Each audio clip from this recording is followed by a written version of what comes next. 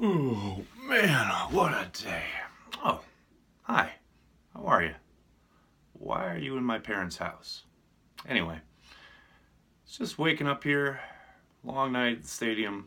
Thought I'd check my voicemails. Join me, won't you? See what's on people's minds. Aaron, this is Matt from Sioux Falls, South Dakota. Hi. Packers down 6 nothing, looking terrible. End up winning 38-13. This wasn't just Aaron Rodgers being awesome. Was, but the defense really stepped up.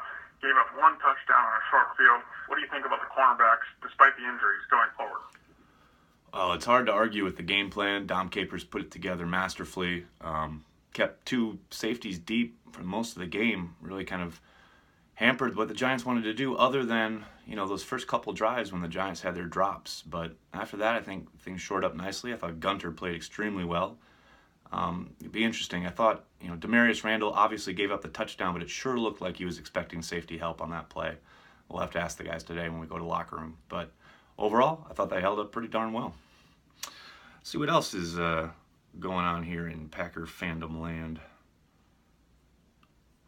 Aaron, Aaron, can, can you feel it, Aaron? Oh, I feel it. Because I feel it. I Feel it. feel it. I told the whole world. They laughed at me. They told me at least you get a good draft pick this year. At least, at least you can rinse and repeat, figure out the problems, and start back good next year. I told them no. Oh no. I said we'll be in Dallas, Arlington divisional round. They laughed at me. They laughed at me when Aaron Rodgers said run the table. He didn't mean the last six games. No, inside that locker room, I know what he meant. You know what he meant. Aaron, it's gonna be special. Something special's going on up there, and I can't wait. I love this team. I love this. Go Pack, baby. Dallas game. I can't wait. Go Packers. Packer fans are fired up. I like it. I, I do indeed like it. All right, time for one more.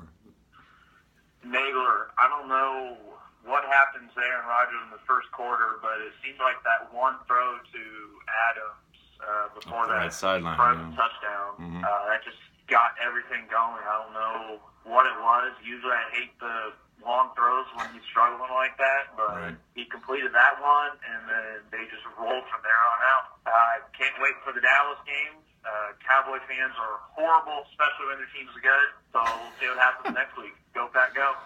Oh man, well I couldn't agree more on the throw to Adams. It was interesting because he was sailing a lot of his throws early, um, but for whatever reason that throw, he mentioned it after the game.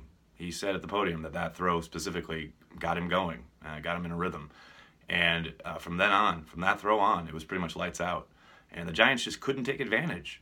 Uh, you know, when teams have Aaron Rodgers on the ropes like that, you got to put up touchdowns. You cannot settle for field goals because you know eventually he's going to catch fire, which he did.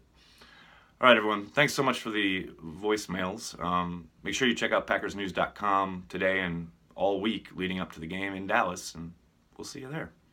Thanks a lot, everyone.